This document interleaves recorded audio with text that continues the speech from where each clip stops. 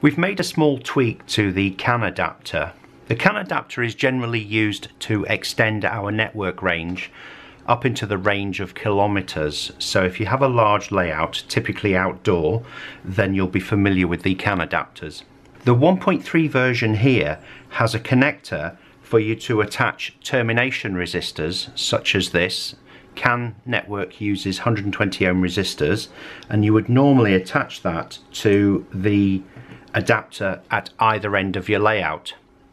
The change we've made to the 1.4 is we've built the resistor in and all you need to do is add the supplied jumper, clip it on, and if it's the end of your network then it's automatically terminated with that.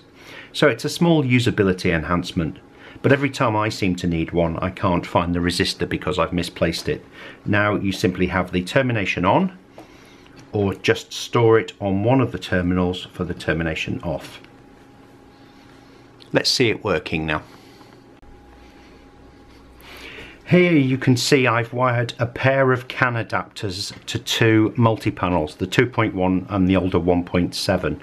And you can see through the CAN adapter I have the twisted pair cable here, the latest CAN adapter version 1.4 and an older version 1.3 here. And as I press buttons on one multi-panel, you could see them being transmitted through the CAN network to the second multi-panel.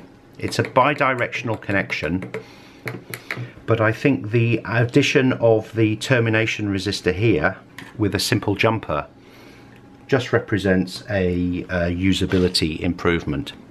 Thanks for watching.